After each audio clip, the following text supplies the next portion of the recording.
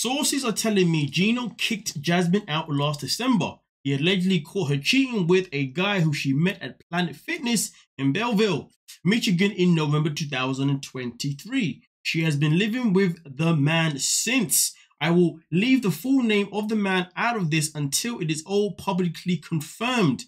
Gino is under NDA and cannot talk about this. I will let the pigs speak for themselves. Now we're going to move on to the next slide. The second slide picks are Jasmine's post and one of, sorry, which um, is one of the new guys she allegedly lives with, both sharing same food.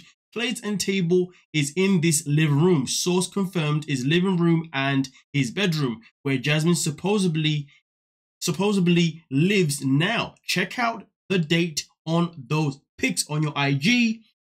There in June, so there, uh, so on her IG there June, she was allegedly kicked out by Gino in December.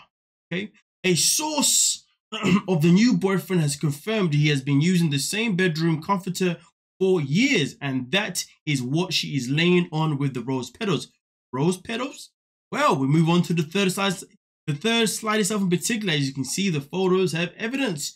Check out the third slide um, of the bedspread and couch and the timeline to when she started posting the couch and bedroom pics after December 2023. Again, Jasmine and Gino are both under NDA with TLC and cannot talk about any of it right now. The source said they both keep posting if they as if they are still together um, because of TLC. And the question is, what are our thoughts? Do we believe Jasmine did this to Gino? I mean, listen, there's a lot of information that tells me that this could be 1000% true, but also at the same time, though, I wouldn't be surprised if this was a play by TLC to get the numbers up because sometimes controversy happens off air to help boost up the ratings for the show when the show may not necessarily be doing the numbers that it should be doing.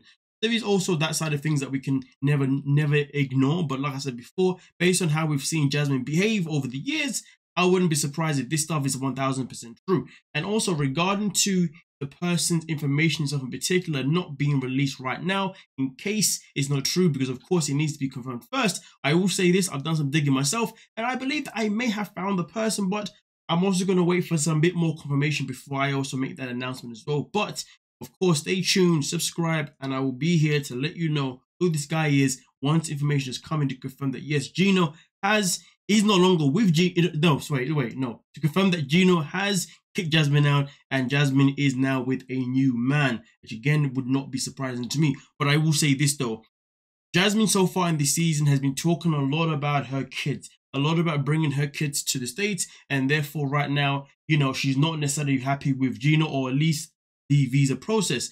I'll say this though if her kids are that much of a priority, why the hell would you go and do a madness with somebody else? Because if you go and do a madness with somebody else, the process of bringing your kids in, I'm not too sure how that can affect you. But at the same time, that wouldn't be a good idea because there's a possibility, I'd imagine, it's going to delay things to a certain degree. So, really and truly, if these claims are true, Jasmine's a freaking idiot because really and truly, she's only jeopardizing the delay of her kids coming to the States even more. But this is why many people do believe that Jasmine isn't really that bothered about her kids, isn't really that bothered about seeing them, isn't really bothered about getting them to come to the USA anytime soon. Some people even believe that the storyline right now, based on her wanting the kids to come to the States, is nothing but just a storyline, a storyline that lacks facts pretty much. Based on what we have seen of Jasmine throughout the years, we've hardly seen her mention her kids, and we've always seen her predominantly talk about herself and always wanting things for herself rather than for anybody else. Nonetheless, though, let me know your thoughts, your opinions, we can talk about it. With that being said, shout out to 90 Day Update. And don't forget to like. Oh, oh, oh, oh, I will say this though.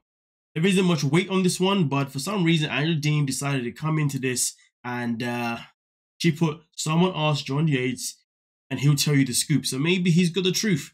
Who knows? But I would, I would imagine though, if he had the truth, he may have spewed it by now, but who knows? Nonetheless, though, don't forget to like, subscribe, and of course.